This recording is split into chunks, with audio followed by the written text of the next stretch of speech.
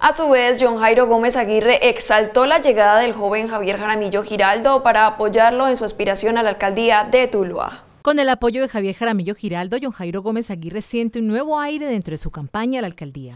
Joven promesa tulueña Javier Jaramillo, quien es un joven que le gusta, le apasiona y respeta mucho esto de la actividad política.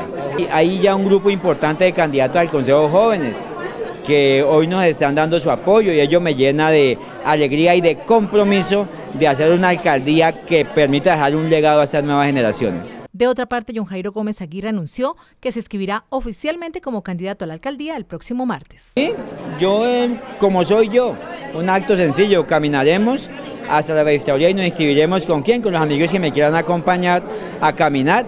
Yo pienso que no es botar plata en actos majestuosos, no es tramar la gente con rifas, es simplemente invitar a los que me quieran acompañar a caminar y a inscribirme como el próximo alcalde de Tuluá. Vamos a, a inscribir un programa de gobierno que hemos actualizado con base en la misma premisa o filosofía de la gente para la gente.